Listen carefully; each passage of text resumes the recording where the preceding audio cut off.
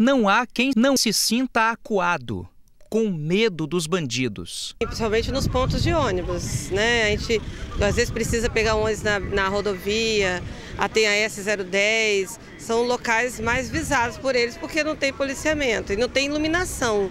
As câmeras de segurança que tem aqui parece que não estão funcionando. E nós temos necessidade disso. E o que está faltando para vocês aqui? mais policiamento mesmo, policiais na rua que possam, provavelmente centro comercial assim que o pessoal normalmente vem para gastar, tá com dinheiro e o bandido se vê numa oportunidade de, de roubar mesmo. Os casos que acontecem no município da Serra justificam o sentimento dos moradores e comerciantes da região. No último dia 5, uma diarista de 47 anos foi atingida por tiros quando saía de um bar no bairro São Marcos 3 e acabou morrendo. Além dela, outras três pessoas foram atingidas. Nessa semana, exibimos vídeos em que criminosos ostentam armas no meio da rua em bairros do município. Nós estamos no Cascato, a rua da escola, ó, a rua da escola, a rua da escola. Cascata tá aí, ó, os cria, como é que tá, ó. Os cria tá assim, mano, ó. Já no bairro Mata da Serra, os moradores se viram obrigados a desembolsar o próprio dinheiro para pagar segurança particular.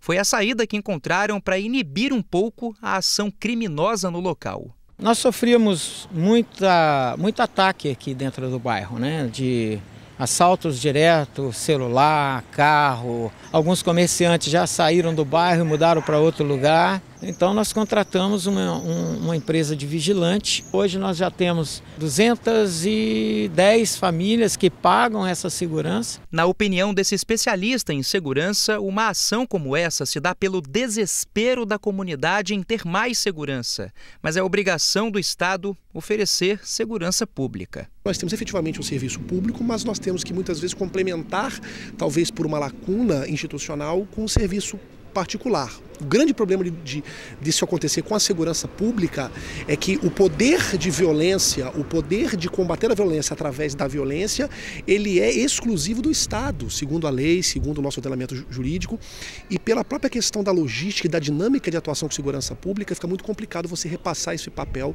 para o setor privado. Ainda de acordo com o especialista, medidas efetivas precisam ser tomadas, porque quem mais sofre com isso é a população. Talvez uma, uma, uma mudança na, no sistema de segurança pública, no pensar a segurança pública no, no, Brasil, com uma incrementação das atividades de inteligência, né, com uma incrementação de outros papéis estatais, porque segurança pública perpassa também pela saúde, pela educação, pela presença efetiva do Estado. Quando o Estado é ausente, esse Estado, eu digo como ente público geral, ele, esse espaço é ocupado por criminosos. E quando ele é ocupado por criminosos, é, a, a, a, as pessoas, o cidadão, passa a ter que recorrer a outros meios de segurança, como esse caso é colocado aí, exemplificado por você de Mar da Serra. Policiamento que não tem.